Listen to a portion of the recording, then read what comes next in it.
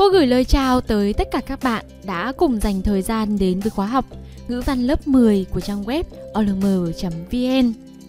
Để kết thúc bài học sức hấp dẫn của chuyện kể, cô trò chúng mình sẽ cùng thực hành đọc văn bản mang tên TG. Khái quát một chút về văn bản này, chúng ta có văn bản TG thuộc thể loại thần thoại Hy Lạp. Người kể chuyện trong tác phẩm này chính là tác giả Eddie Hamilton. Sách giáo khoa cung cấp cho các bạn thông tin. Eddie Hamilton là nhà văn, nhà nghiên cứu người Mỹ, tác giả của nhiều cuốn sách có giá trị như là Con đường Hy Lạp, Con đường La Mã, Những nhà tiên tri của Israel, Thần thoại hay là Tiếng vọng của Hy Lạp, vân vân. Sau khi có những giới thiệu khái quát về văn bản TG, các bạn sẽ cùng dừng lại để đọc văn bản này trong sách giáo khoa ngữ văn lớp 10 tập 1 bộ sách kết nối tri thức với cuộc sống nhé.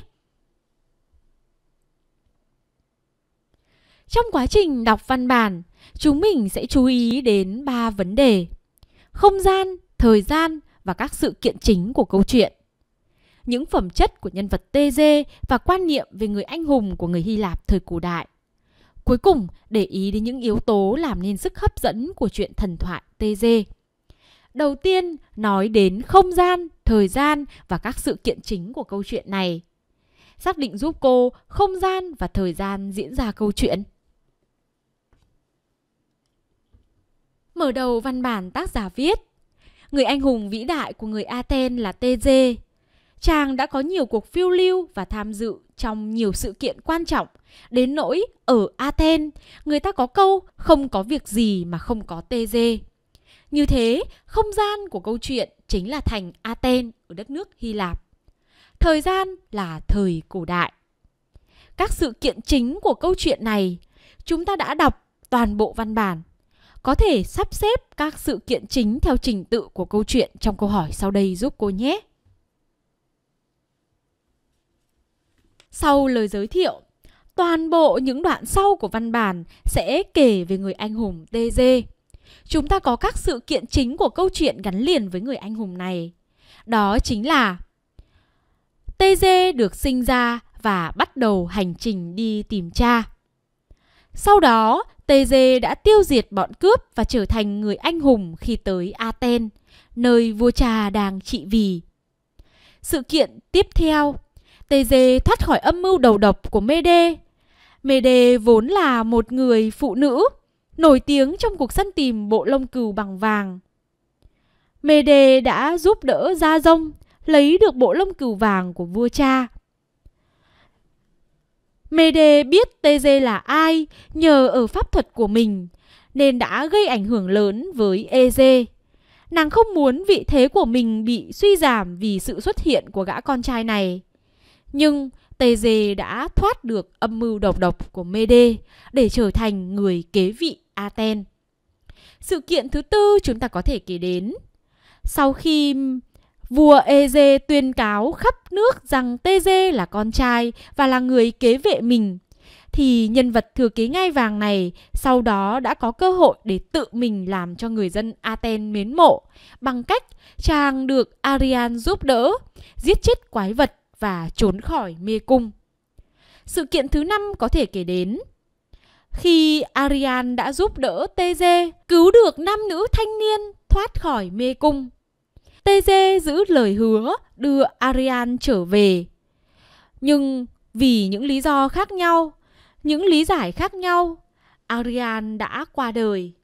TG quá đau khổ vì cái chết của Arian mà quên căng cánh buồm trắng vì quên căm cánh buồm trắng, như lời dặn dò với vua cha trước khi vào mê cung. Vua cha thấy cánh buồm đen, tưởng là Tê Dê đã qua đời, nên đã gieo mình xuống biển. Kết thúc sự kiện chính của câu chuyện này, chúng ta thấy Tê Dê trở thành vua, xây dựng thành phố thịnh vượng bậc nhất thế giới. Đây là bảy sự kiện chính của câu chuyện. Những sự kiện chính này được sắp xếp theo trình tự. Chúng ta tìm hiểu xong phần đầu tiên, không gian, thời gian và các sự kiện chính. Toàn bộ câu chuyện, ngay từ nhan đề đã nhắc đến nhân vật TG. Chúng ta sẽ có được phần thứ hai, những phẩm chất của nhân vật TG và quan niệm về người anh hùng của người Hy Lạp thời cổ đại. Đầu tiên nói đến những phẩm chất của TG. TG hiện lên trong văn bản qua các chi tiết. Nhấc hòn đá một cách dễ dàng khi còn là một cậu bé. Câu chuyện kể Eze quay trở về Hy Lạp lúc Teze chưa sinh ra. Nhưng trước khi đi, ông có đặt một thanh kiếm và một đôi giày vào trong một cái hố và lấp lại bằng một tảng đá lớn. Ông làm việc này với sự chứng kiến của vợ và dặn rằng khi nào đứa con trai, nếu nàng sinh ra con trai của họ lớn lên đủ mạnh mẽ để lăn hòn đá này đi và lấy những thứ cất ở bên dưới thì hãy cho nó đến Aten nhận cha. Đứa bé sinh ra là con trai và khỏe mạnh hơn các trẻ khác rất nhiều. Thế nên khi mẹ cậu cuối cùng dẫn cậu đến nơi hòn đá thì cậu nhấc nó lên một cách rất dễ dàng. Chúng ta có hình ảnh TG khi còn là một cậu bé, nhấc hòn đá một cách dễ dàng. Chi tiết thứ hai cho thấy phẩm chất của TG đó là TG không đi đường thủy mà ông ngoại đã chuẩn bị cho một chiếc thuyền vì chàng cho rằng nó quá an toàn và nhàn nhã. Ý nghĩ của chàng là sớm trở thành một anh đại anh hùng và an toàn dễ dãi thì không phải là cách để đạt được điều đó. Chàng luôn mơ ước tưởng mình sẽ trở thành vị anh hùng sáng chói như Heracles, vốn là anh em họ của chàng. Do đó, chàng đã đi đường bộ. Đây là chuyến đi dài và rất nguy hiểm để đến thành Aten vì bọn cướp đầy rẫy trên đường. Tuy nhiên, trên đường đi, chàng tiêu diệt sạch bọn cướp chẳng để sót lại một tên nào có thể quấy nhiễu các khách bộ hành tương lai. Chi tiết thứ ba cho thấy phẩm chất của TG chính là chàng nhanh trí nhận ra cha để thoát khỏi âm mưu đầu độc của Mede.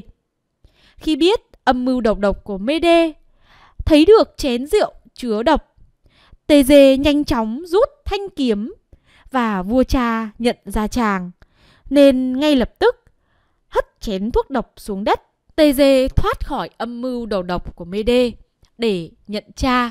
Khi vua Eze giao truyền rằng TG sẽ là người kế vị, thì TG tự nguyện làm một trong các nạn nhân vào mê cung để tiêu diệt Minotaur.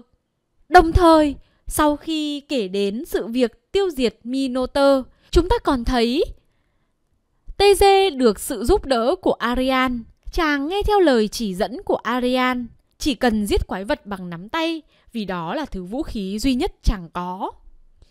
TG đã giữ lời hứa và đón Arian cùng vượt biển để trở về Aten.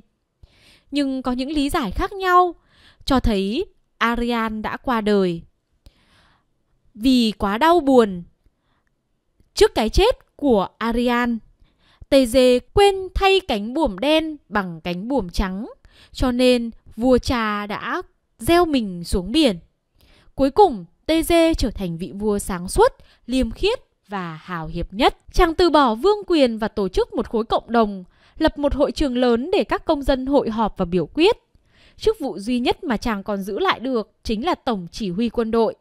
Nhờ đó, Athens trở thành một thành phố hạnh phúc và thịnh vượng nhất trên trái đất. Mái nhà duy nhất của nền tự do chân chính, một nơi trên trái đất mà người dân tự quản lý mình và vì lý do này mà trong trận đại chiến của bảy vị anh hùng chống xứ bơ khi những người tê bơ chiến thắng, không chịu chôn xác quân địch đã chết, thì những người bại trận đã quay sang để nhờ Tê Dê và dân Aten đã giúp đỡ. Cuối cùng, ai cũng tôn trọng Tê Dê. Tê Dê trở thành một vị vua sáng suốt, liêm khiết, hào hiệp. Với tất cả những chi tiết này, chúng ta có thể kết luận Tê Dê là người có những phẩm chất nào?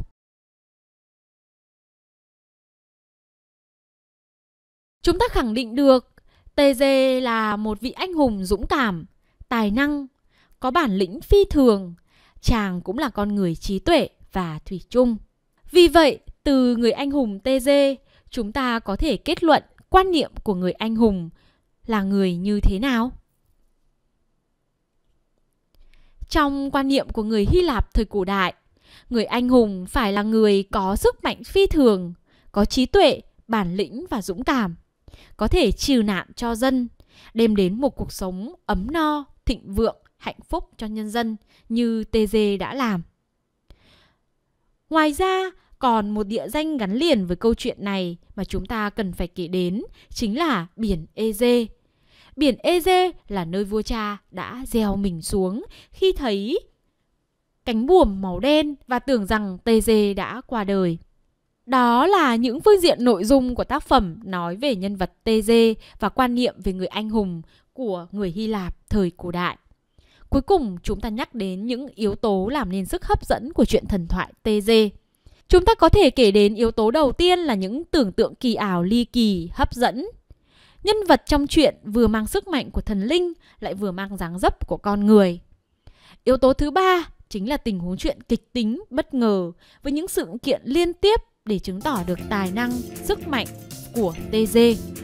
Cuối cùng, câu chuyện phản ánh khát vọng của người cổ đại phương Tây về con người và xã hội. Đó chính là những yếu tố làm nên sức hấp dẫn của chuyện thần thoại TG. Cô trò chúng mình thực hành đọc xong văn bản TG.